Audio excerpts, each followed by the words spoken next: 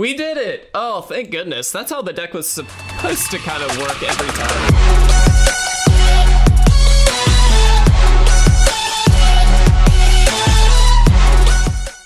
What's going on, guys? If you want to support our content and pick up this month's amazing Patreon rewards, you can do so at patreon.com slash itresolves. If you're interested in custom playmats and sleeves, visit yourplaymat.com and use code ITRESOLVES10YP for 10% off your entire purchase. What is going on, everybody, and welcome back to some more standard gameplay videos. Before we jump into this one, just as a quick reminder, if you are not already, please make sure you subscribe to our channel. If you do enjoy these gameplay videos, it really would mean a lot. We could also like the video if you happen to like the video. If you don't, feel free to thumbs down it that's fine too. But either way, it really does mean a lot to us uh, to, to have you guys watching at all. Uh, but to subscribe, like the video, that kind of thing really does help out. So please do uh, consider doing so. But let's jump into today's list. Now, this one is created by MTG Malone, I believe. Uh, and I've seen versions of this list before. This is just, I believe, his version. Uh, and I really liked it. So I thought I would test this one out. It is a Selesnya Magecraft deck. So if you don't know what Magecraft is, uh, it's a very sick. So basically, whenever you cast or copy an instant or sorcery spell, something happens. Something happens. Uh, now, we've got a number of creatures that kind of uh, proc off of that. So Magecraft on the Clever Lumimancer gives it plus two, plus two until the end of the turn, which is pretty good. Uh, Leonin Lightscribe gets uh, gives all creatures, excuse me, plus one plus one until the end of the turn, uh, and then Dragonsguard Elite gets a one one counter every time. Uh, all of which is obviously super super powerful. Now we also have uh, Flurry of Blows on the uh, Monk of the Open Hand, which is a nice little one drop here as well. Whenever you cast your second spell each turn, put a one one counter on it, and then we also have Clarion Spirit, which every time we cast our second spell, we get another one one, which obviously works extraordinarily well with the Lightscribe. So uh, we've got a lot of stuff that cares about playing some cheap uh, power up kind of spells. Uh, and thankfully, we've got no shortage of those. We've got things like Snakeskin Veil, put a 1 1 counter on target creature against Hexproof. Very, very defensive counter trick. Very, very good. Uh, charge Through, give something trample and draw a card. You draw a card, you get to play that card, hopefully. Uh, Blizzard Brawl, fight some stuff off, creature gains indestructible until the end of the end of the turn. Uh, Wings of the Cosmos gets plus one, plus three, and gains flying until the end of the turn. You can also untap it. Guiding Voice, put a 1 1 counter on something, and then learn. We do have a full sideboard of lessons as expected, uh, all of which we can obviously pull out with that Guiding Voice. Uh, now, Show of Confidence is here, an instant 2 mana. Whenever you cast a spell, copy it.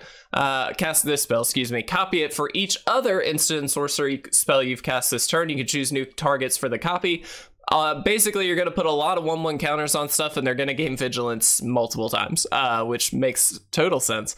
Uh, and then we do have, of course, Mavinda, Student's Advocate. This allows us to pull instants and sorceries basically back from our graveyard, uh, which is just kind of ridiculous, and double up, which will hopefully trigger that Clarion Spirit as well as the Monk uh, pretty easily. Now, in the tech on the lands, uh, we do have obviously a lot of snowlands, that kind of thing, that's fine. Hall of Oracles, though.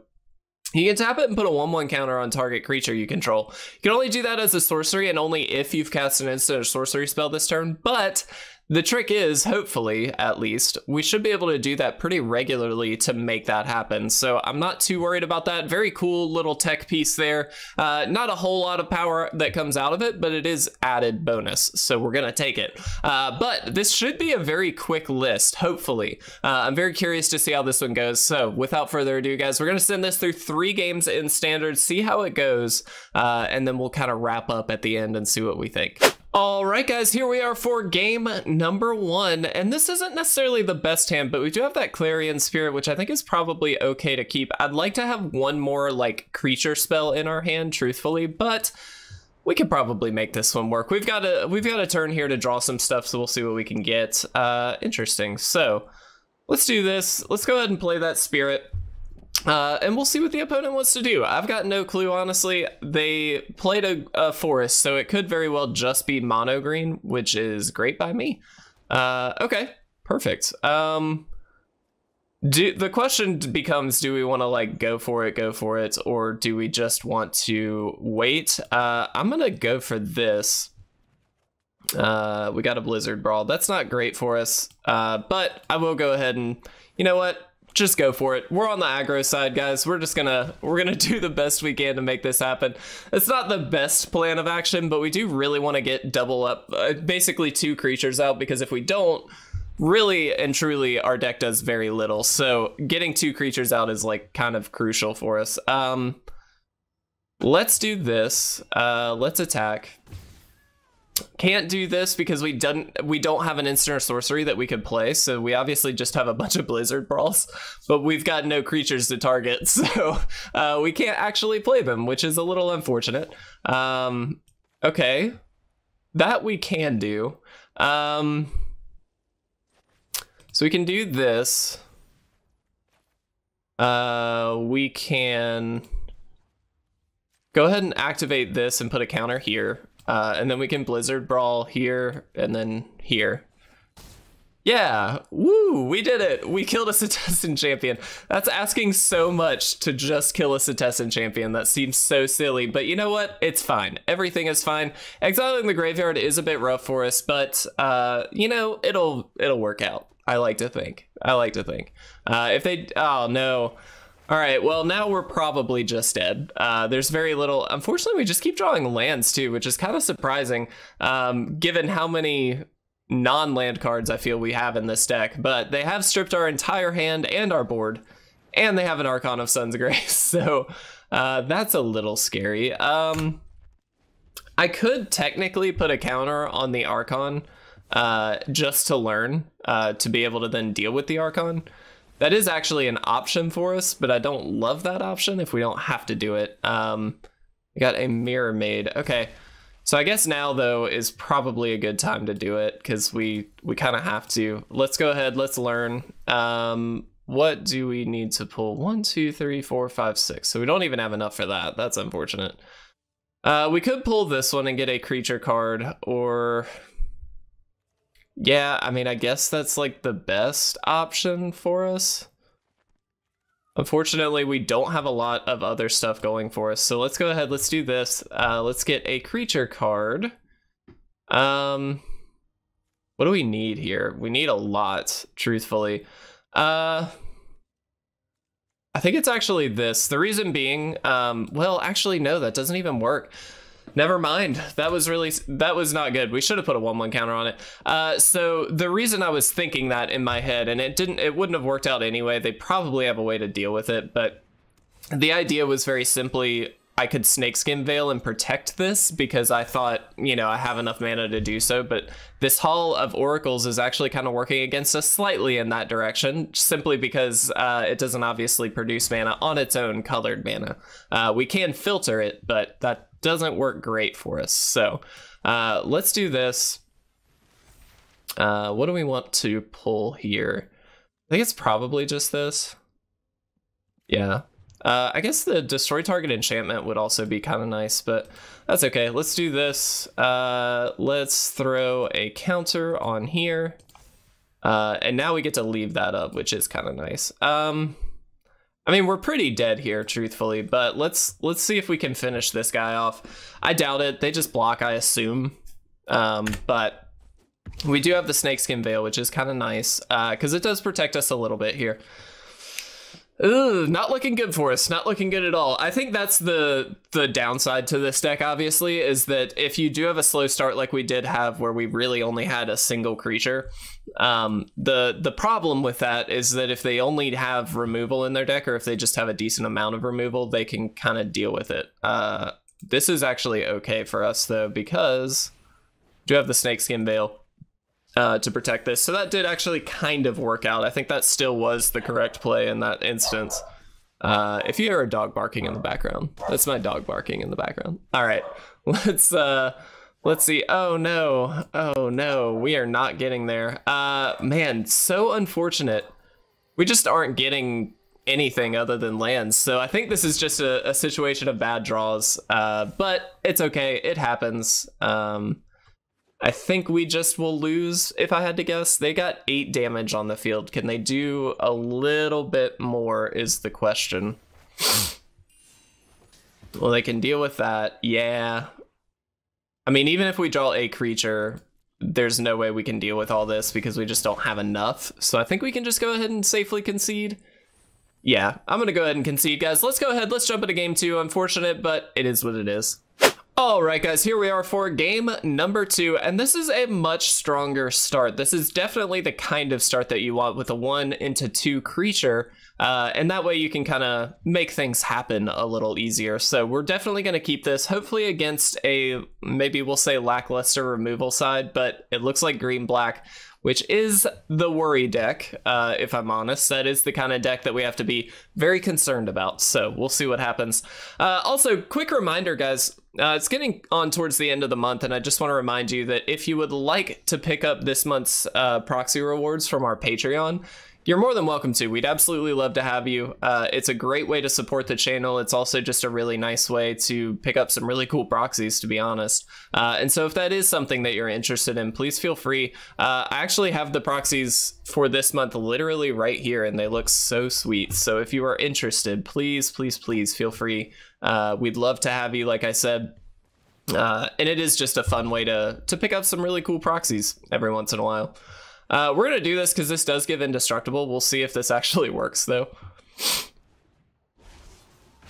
It returns to the battlefield with a 1-1 counter on it. Oh, no. Oh, does deathtouch... Oh, my gosh, I'm an idiot. deathtouch gets around it. Oh, no. I'm so smart. Uh, we're learning today, people. We're learning. All right, fair enough. You got me. Uh, thankfully, we do have these Dragonsguard, Dragon Guard elites, so I'm not, like, terribly worried about it. Uh, I wish we could. We just can't. Um, yeah, we just throw this out there.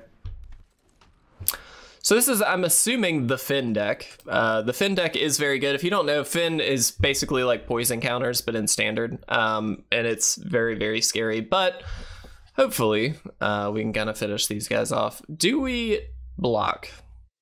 Is the question. Um, I'm going to say no. I don't love that, but I think we just say no. I assume that they would have something like that, but I think you just kind of have to let it happen. Um, I mean, we just play another Dragon Guard Elite, I think. And then do we attack in here? Um, no, I'm gonna wait. I don't know if that's correct. I'll be honest. This this is a, a tricky one because we don't really want to trade off all of our stuff. And truthfully, I guess we should have maybe blocked last turn just to see if they had any of these feign deaths left and kind of burn them. Oh, interesting. Uh, Seraph, huh? Whatever was put in a grave for the battlefield, put a 1-1 counter on it. That's scary as heck. Uh, in that case, I think we... Oh, okay, they're not going to attack. Interesting. All right. Well, we definitely do this because uh, we kind of just have to. So we have to get rid of Seraph. That's there's no way we don't. Um, and then I guess we just pass. I don't know. This is so strange because these the deathtouch is like a major problem, but we can also kind of go over the top. Oh, we should have. I keep forgetting about this Hall of Oracles too. It's a bit of a problem for us. Um, I'm gonna say no blocks. I don't know if that's correct. Like we're not gonna die this turn. Um, but I have no other. I have no clue what they could have. Just have more death touchers. I hate these little guys. This is so annoying. Uh, yeah, that's fine. I am definitely not playing optimally here. Uh, that's a definite truth here, but we're gonna do this. It's gonna put some counters around and give hexproof. That's kind of nice. All right, let's do this. Let's do this. We need to remember the Hall of Oracles. That's important. Um, view battlefield. Okay, so that's quite a bit of damage, but it's actually not enough, I don't believe. So that's going to be 7 and 7, 14. We can say this can't block. Uh, that's... So we can go up to 15, actually. But I still don't think that's enough. Um, hmm.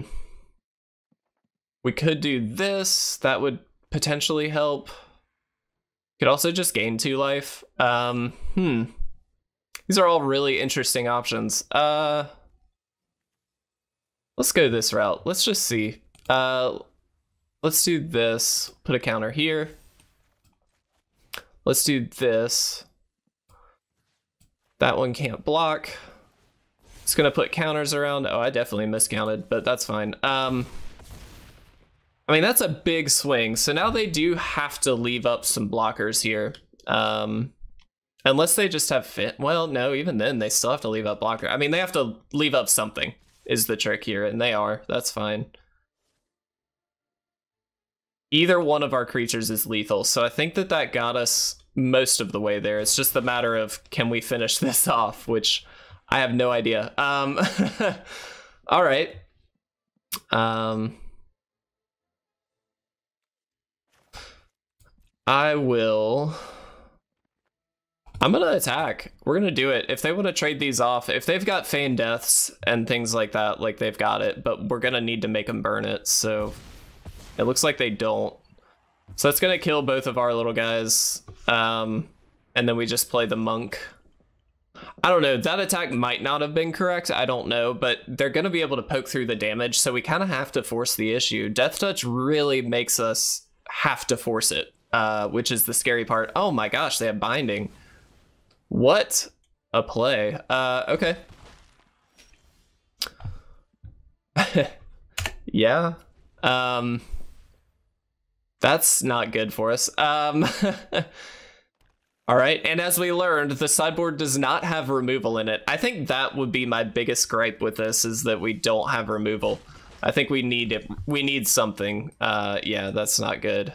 Uh, let's do this. Yeah, we're dead this, this turn anyway, so it doesn't actually matter that much. Um, let's do this. Let's do this. And let's do this. We do get to put a 1-1 counter on it, but it doesn't truthfully matter that much. Um, they all get deathtouch. Yeah, I mean, we're just dead here. This is unfortunate, because I really felt like this list could outpower a good bit, and it's uh, it's just kind of not. Um, we literally... Oh, no, we don't have to. Uh, that's fine. I think we needed to. I don't know. That's rough. That's very rough. Um... All right, they played out their hand, so when we got that. oh, this deck is not resilient, I will say. It's very much a glass cannon, uh, which is fine. I think we're definitely not playing it super well, but it's okay. That is a second loss for us. Let's go ahead, let's jump into game three. Let's see if we can do this. All right, guys, here we are for our third and final game. Uh, this is a slow one again, but we do have the snakeskin veils to protect, so we're gonna try. Um, unfortunately, I have not been playing super well these last two games. It's early, guys. It's very early, uh, and that might have something to do with it, but that's okay. We're gonna do the best we can and just have a fun time doing it. There's another uh, Dragon Guard Elite. That's actually really helpful to have doubled up on that, uh, especially since next turn we can actually Snakeskin Veil and just protect both. Uh, we'll see what they want to do. This obviously being white black, I'm assuming they've got removal. Yeah, poison the cup, that's fine. It's not great for us, but again, we've got a way to to to play and protect next turn, so I'm not terribly worried about that. Let's get the Hall of Oracles down, and let's play this. Uh, and we'll just pass here. So this is going to be very much a, de a, defensive turn. I'm assuming that they might have another removal spell, and in which case we'll just uh, snake, snake skin veil. It looks like they don't actually. That's interesting. Um, okay, we're not going to push it. We are just going to wait uh, and see what we can do. All right, great. It's very good. Uh, again, just gonna wait. We're not we're not gonna push our luck. We're gonna try and be smart about this because uh, I don't think we have been up until this point. So let's see what they can do. Interesting. Okay. Uh, do they have anything in their graveyard? They do not. Okay, cool. So this is a Clerics deck. That's interesting. Um, let's do this. and we'll attack in. See what they want to do. Uh, they're not going to take it, so we're gonna we're gonna pass. So my thing is, I kind of want to wait and chip away at them until we know we can like really kind of get them, if that makes sense. And so far, we obviously can't. They're flooding the board. That's fine. we can actually deal well with that, so it's not really a problem. Um, all right, cool. It's another land, that's fine. Um, and we'll attack in. The good thing is we're representing just a ton of damage here. Um, interesting, okay. Let's put some 1-1 counters around. So we do want to put them here. Uh, we do want to, oh, we can't do, oh, only as a sorcery, six. So that's 14. Can we just win? I don't know. We're going to go for it. uh, yeah, we can. Go us. We did it. We did it! Oh, thank goodness. That's how the deck was supposed to kind of work every time, but unfortunately we didn't get there until that time. But hey, it worked. Let's talk about this deck, guys. All right, so uh, as far as Selesnya Magecraft goes, I think if you were a better player than me and a more patient player than me, you would have probably had a better outcome than I did. Uh, we, of course, lost two games and then did get that final win, which is perfect. So that's exactly what we want. Uh, that that kind of gameplay, that where we just kind of put stuff on the board, protect it a little bit, or at least represent protection, and then just get a big attack in. That's all we really want to do. That's the main goal of the deck, and it worked out great in that scenario. However, uh, unfortunately, the first game, I do think we had some bad draws in that first game. We kept drawing land and we didn't really have any backup creatures. Maybe that was a bad keep on my end because the deck is so cheap you can mulligan relatively aggressively, I think. Uh, and I didn't do that. Um, I think because I had a creature, because I had ways to deal with, or ways to pump it up and get some extra value off of it, I was feeling like, you know what, I'll just leave it. I think it'll be okay. Obviously, it wasn't. Game two, I definitely misplayed like a lot. Uh, I know I missed a number of things, but you know what? It was still a fun deck. I really like this one. Uh, I would definitely suggest it because a lot of it isn't all that expensive in terms of wild cards either, because it's a lot of just combat tricks, uh, which is great. So if you're looking for just a really aggressive intro style list, I do think that this one's great for you. You do have to learn when to play things and when not to. I think that's a really big piece to this list that um, does take a little bit of finesse, a little bit of knowing the opponent's lists as well, uh, and knowing when you can be more aggressive or when you can't. And I think removal obviously plays a big part in that. Uh, but regardless, a very fun list. I hope you guys enjoyed this one despite all the misplays. It's early, guys. I'm so sorry, but it was still a really fun time. I love you all very much. I hope you guys have a fantastic day and I cannot wait to come back and have some more gameplay videos for you guys.